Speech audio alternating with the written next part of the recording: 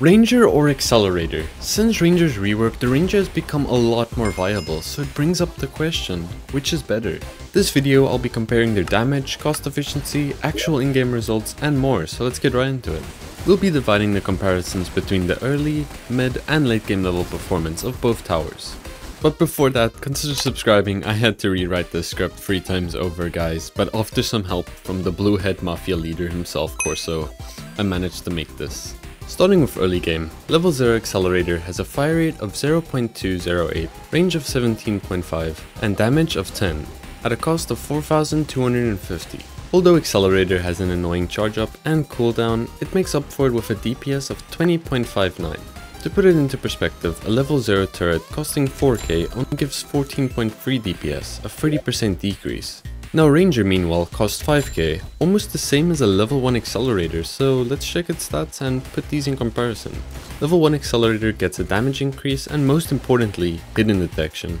At the cheap cost of only 800 for a total of 5050 cash.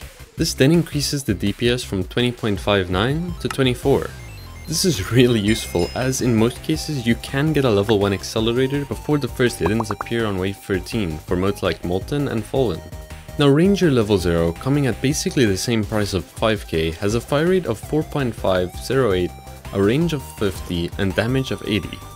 The range is pretty insane as it can literally cover the entire map at level 0, which no other tower can even come close to. This all results in a DPS of 17.75, which considering the range is really good, since the previous Ranger only had a DPS of 12. Its base level also starts off with flying detection, making it a good choice for flying enemies. However, 80 damage shots obliterating 4 HP normal zombies is not exactly efficient guys.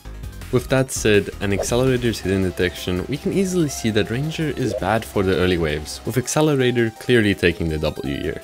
This is especially true considering the placement cost being 750 less, making it possible to get it even a wave earlier. Now mid game is where actual high HP zombies spawn, so does Ranger make a comeback? On Accelerator's mid game levels 2 to 4, its time before it has to reload goes from 2.4 to 6 seconds, making it much more consistent for dealing with enemies like shadow bosses and glitches with their high speed. As for its DPS, it increases all the way from 24 DPS on level 2 to 120.11 DPS on level 4, at a total cost of 19,700. Now does Ranger's mid-game upgrades actually compete? Well, on level 1 it only gets an increased fire rate of 1 second, but on level 2 is where Ranger starts to get really interesting. It gains a range buff ability alike to DJ where it increases the range of nearby towers by 15% for 20 seconds at the start of each wave. This buff area can be seen by clicking on the Ranger with it being a yellow 12 stud radius. Compared to DJ's 35% range increase, this sounds pretty meh, but combined that's a 50% range increase, which means an accelerator can go from 20 range to 30 range, which is pretty insane. The issue I find in this is that it's only really good for speedrunning as modes like hardcore where rangers at its best tend to have long wave times, making the buff sometimes only active for 10% of the wave, which is like not exactly good. Now as for its DPS, it increases from level 0's 17.75 DPS all the way to level 3's 92.08 DPS. So how does the level 3 Ranger with a total cost of 28k compared to a level 4 Accelerator totaling to 19.7k? Well, Accelerator comes in at a cost per DPS of 164.02 cash for a total of 120.11 DPS. Meanwhile, Ranger comes in at a cost per DPS of 304.08 for a total of 92.08 DPS, making Accelerator's cost efficiency almost double, which is crazy.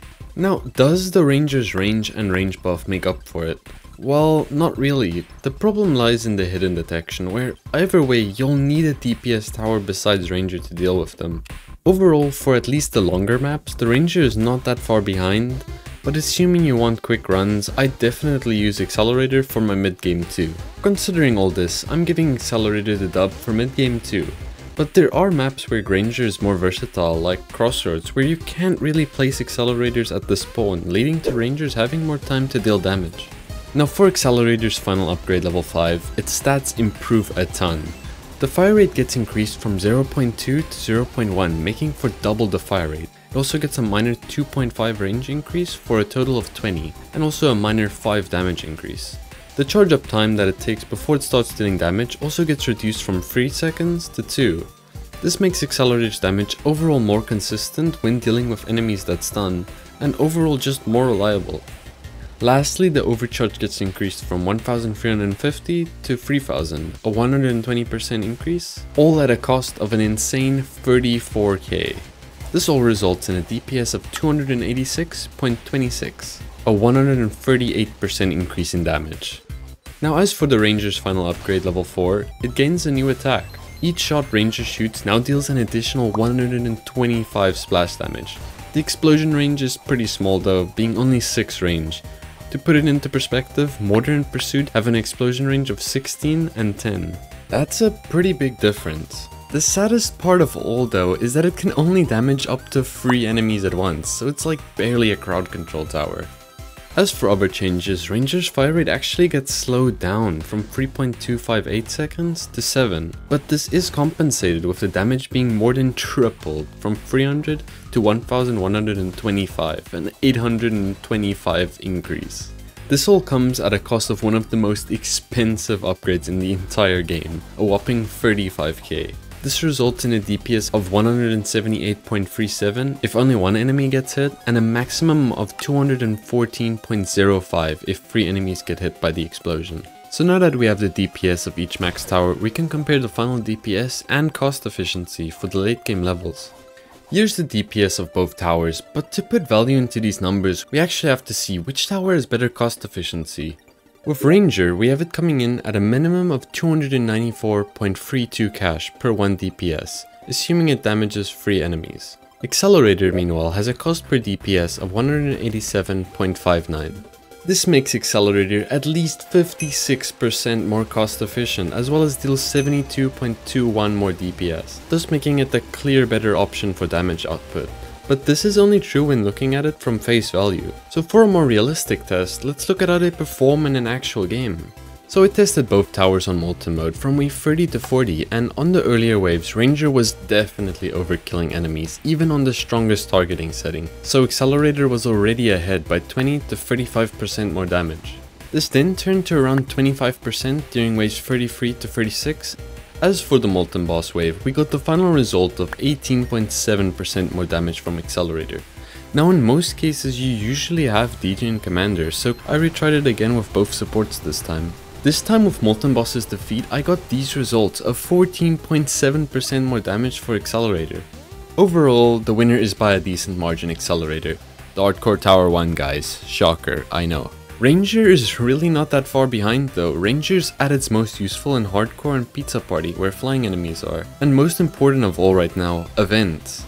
Solar Eclipse 2021 and Violent Night had some flying enemies, so chances are Ranger will be useful in the coming acts too. Any loadout can also just be improved by using the level 2 Ranger with the range buff, so it has some use as a support tower. Hope this video was helpful and yeah, see you on the next one.